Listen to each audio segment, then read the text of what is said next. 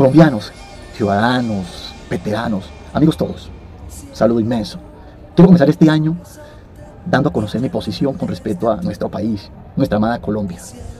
En vez de Colombia, es Locombia, único país del mundo gobernado por criminales con delitos de lesa humanidad. Tenemos en el poder a, alias Aureliano, alias Timochenko, alias Iván Mordisco, alias Tornillo. Son los que están en el poder. Pero no, no basta con eso.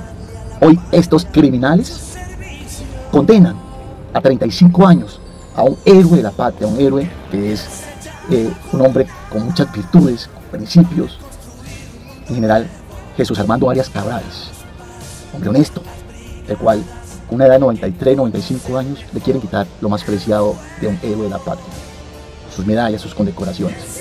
Pero una condecoración no hace el combatiente, no hace al héroe de la patria, eso está en el corazón.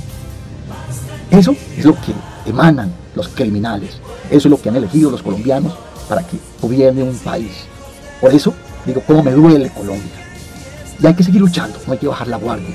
Y esta lucha hay que darla en las calles. Esta lucha tenemos que unirnos. ¿Por qué? Porque solos, solos somos invisibles, pero unidos por causas justas. Llamada patria, democracia, país, honor, seremos invencibles e imparables. Que Dios bendiga a los veteranos, a los colombianos, pero sobre todo que Dios bendiga a toda nuestra amada patria colombiana.